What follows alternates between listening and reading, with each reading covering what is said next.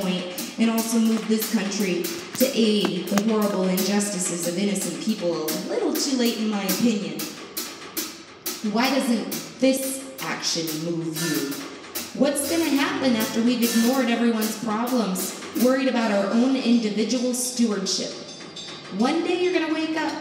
You're going to turn on the TV and scroll through Facebook, and maybe this time they've turned the troops out in Chicago. How many times has Mr. Trump talked about that city? It's a problem, he says. All it took in Syria was a little kid writing graffiti on the wall, and it angered a dictator there, and they sent out the troops. We seem to have a dictator here, too, who thinks he can write up any order he wishes.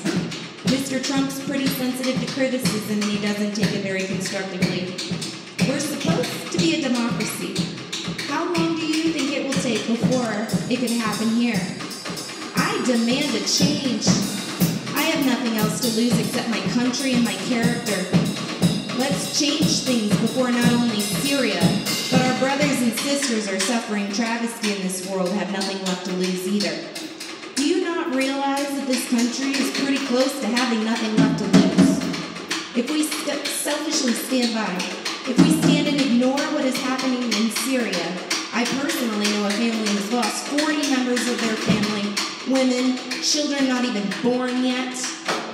If we stand here ignoring that when we should be demanding protection of innocent people and families, it's like America doesn't care if it happens here or anywhere.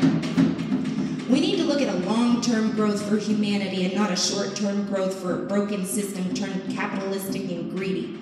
Most of us are only two paychecks away from having nothing left to lose. If we stop being divided, we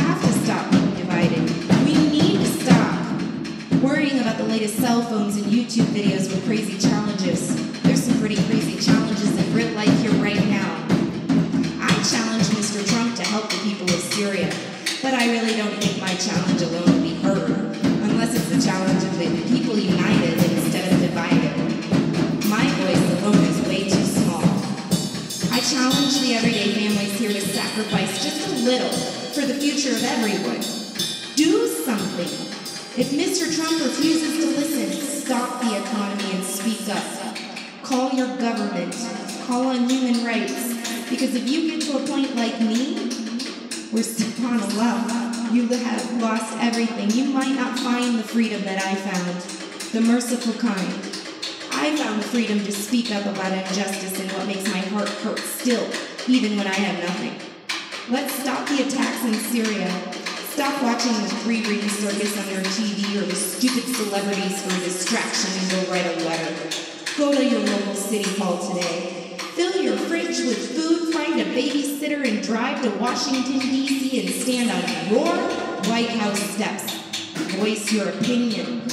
We don't need to wake up tomorrow too busy to help. Hey, Mr. Trump, Stop being mad about refugees if you're going to idly stand by and watch their homes and families be destroyed. They don't have anything to go back to. I ask for your help, America, because you could be the next refugee. I can see Chicago turning into Damascus if we don't take heed.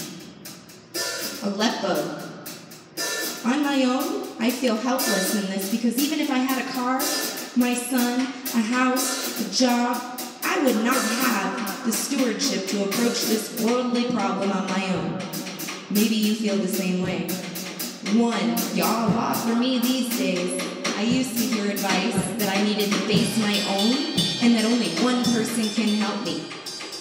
On my own is my own brothers and sisters in humanity, and my stewardship can only come from one nation, America, because that's where I live. I used to be proud of America. Even when you have nothing material left to lose, you still have the ability to lose character. Under God, Ya Allah, subhanAllah. Together, united in one mission for the sake of humankind. Stewardship is what that man in the elevator told me would change the world when I asked him to listen about Syria. And you know what? He's right. But it wasn't my stewardship that would help me save the world. It's the stewardship of all of us united. Yeah! Thank you, Desiree. That was divine.